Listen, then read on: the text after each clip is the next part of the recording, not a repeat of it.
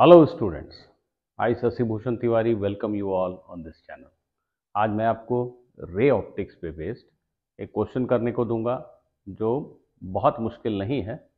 आप थोड़े से प्रयास से कर पाएँगे ऐसा मेरा मानना है। पर साथ में इस क्वेश्चन को सॉल्व करते समय हमें ये भी समझ आएगा कि हमारी कार में जो इंटरनल रियर व्यू मिरर होता है उसमें नाइट डिमिंग का जो फीचर होता है रात में आ, हम ग्लेयर को अपनी आँख में इरिटेशन को कम कर सकते हैं। वो कैसे काम करता है? उसको भी आज हम समझने की कोशिश करेंगे। तो आइए देखते हैं हमारा आज का सवाल। इस सवाल को करने की कोशिश आप पूरा वीडियो देखने के पहले भी कर सकते हैं और वीडियो देखने के बाद भी अंत में आप इस क्वेश्चन को ट्राई कर सकते हैं। तो अगर आप क्वेश्चन को समझ गए, खुद से ट्राई करना चाहते हैं तो कीजिए, पर वीडियो को ज़रूर देख लीजिएगा, वीडियो छोटा ही होने वाला है।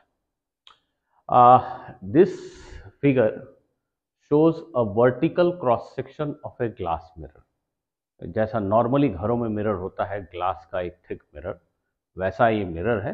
बट इसकी क्वालिटी ये है कि इसके जो दोनों फेस हैं, वो पैरेलल नहीं है they are inclined this diagram shows the vertical section of the mirror one surface of the wedge shaped glass has been silvered. This back surface has been silvered, right? The mirror is kept so that its silvered surface makes an angle of 3 degree with vertical. This silvered surface makes an angle of 3 degree with vertical and the front surface makes an angle of 5 degree with vertical. This is given in the question. Horizontal rays from a distant object fall on the mirror, right? Very good. At what angle theta to the horizontal must the observer's eye be oriented? At what angle theta to the horizontal? This is the observer's eye given in the picture. Uh, this eye should try to look in a direction that is inclined at an angle theta with the horizontal and this theta, you have to tell me the value of this angle theta so that this observer or this eye is able to see a bright image and what should be value of this angle theta so that the eye sees a faint image. I am getting out of the screen, you can capture the question on your own. It is given that refractive index of the glass is 5 by 3. Refractive index of the glass is 5 by 3. Please capture the question and give it a try or you can watch the complete video and thereafter give it a try. And please do not forget to write down the answers that you get in the comment section. Okay, let us move on. so, today we are going to learn uh, about the physics of interior rear view mirror, uh, basically the night dimming feature of interior rear view mirror. How does it actually uh, functions?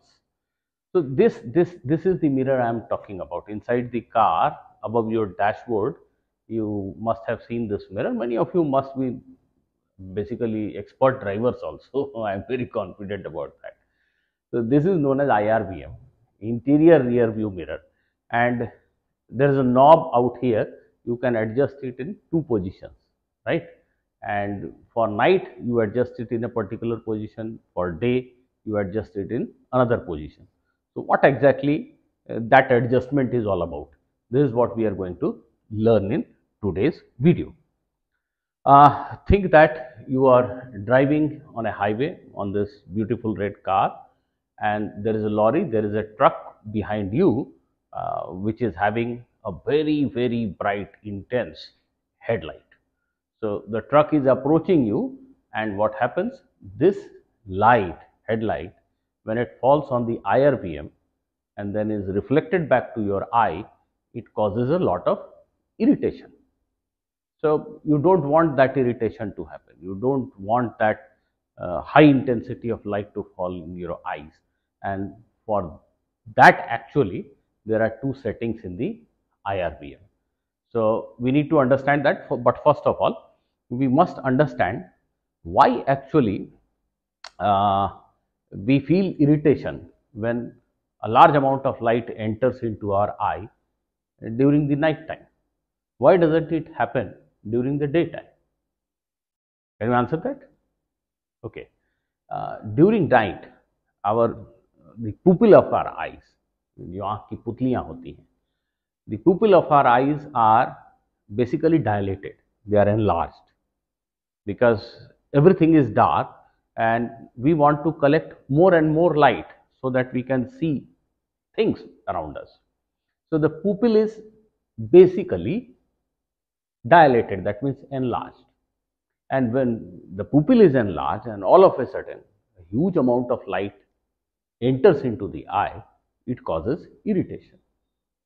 It does not happen during daytime because uh, during daytime uh, the situation is that your pupil, the uh, um, eye pupil is already uh, smaller in size basically हम घबरा रहे होते हैं, बहुत सारी light हमारी आँख में एंटर करती है, हमें तकलीफ़ होती है तो हम अपनी आँख की पूपल को बेसिकली सिकोड़ लेते हैं तो it is already smaller in size when the background is very bright so when a bright object suddenly comes in front of us it does not cause that much of irritation because the pupil size is already very small so less amount of light energy actually enters into our eye so this is the whole thing now how does that irvm function let us try to understand that the diagram is not to scale uh, these angles are also not to scale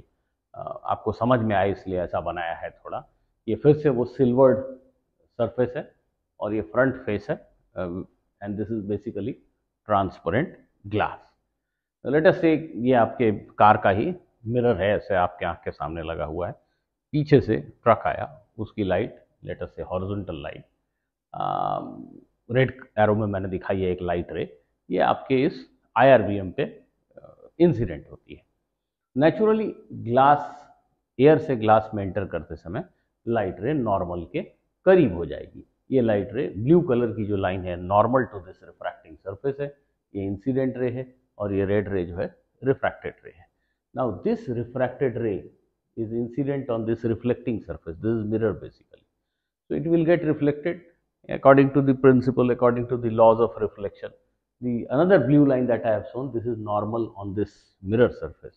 So the light ray gets reflected and again here it will be refracted, it will move away from the normal. I am not showing the normal here and if your eye is somewhere here, it will enter into your eye. So the light that is traveling from rear uh, intense light that actually hits your eye and causes irritation because your eye pupil are already dilated they are large in size it is night time and suddenly all of a sudden a large amount of light energy enters and it causes a lot of irritation. Uh, so, what can be done to avoid this? Actually, you need to tilt this mirror. You need to reorient this mirror with respect to your position of the uh, incoming incident ray. You need to tilt the mirror. So, the button that is given here, it is not a button, it is a lever kind of thing the lever that is given here, this is IRVM. If you move this lever, it helps you um, in uh, repositioning this mirror, rather reorienting this mirror with respect to the incident light. So, if you just uh, operate this lever, the mirror uh, changes its orientation. That means basically inclination of the mirror with horizontal or vertical has been changed. So, by operating this lever you are able to change the inclination of the mirror with horizontal or vertical whatever. So, let us say this is the new position of the mirror. Uh, this is the position that you will want uh, during night time when light ray is traveling uh, from your rear uh, almost horizontally. So, what happens to this light ray? Earlier the mirror was tilted like this. Now, we have made it more towards vertical. So, what will be the path of light ray? Again it will get closer to the normal after refraction. But now here, here the light ray gets reflected according to law of reflection. All of you can imagine that, that it may be directed upward. So, if I adjust the tilt angle, it is possible that this reflected ray uh, is passed, uh, is reflected uh, and then re-emerges into air over my head actually. So, the light ray will not enter your eye and it will be, be passing over your head. So, in this particular case, uh, this light ray, the huge amount of light energy is not going to enter into your eye and this is not going to cause any irritation. But the question arises then how am I going to see the image? I mean, if a truck is behind me, how will the truck uh, be seen, uh, be visible to me? How will the image of the truck be visible to me? That is the big question. So, the fact of the matter is when light ray enters into glass from air, uh, the whole energy is not refracted. Some small amount of energy, maybe 4 5 percent of energy will get reflected here and that is what tilting the mirror does. The major amount of energy goes above your head. In some cases, it may uh, be directed towards your foot rather than your eye. It depends on the geometry and construction, but this is one possibility. But how, how are we able to see the image of the truck behind us? The fact is 4 to 5 percent of light energy will get reflected here uh, at the first encounter with the glass. So, if you adjust the mirror like this, this reflected light is actually entering your eye and because it is only a very small percentage of energy, the image will be very dim, dull, uh, but at the same time it is not going to cause any irritation to you. So, I hope all of you have understood this, uh, the very simple device um, which helps us a lot while driving at night and students, I am assuming that you all will now give a try to the problem that I have given at the start of the video and please do, do not forget to uh, write in the comment section the answers that you are getting. Thank you. Thank you for watching this video. Goodbye.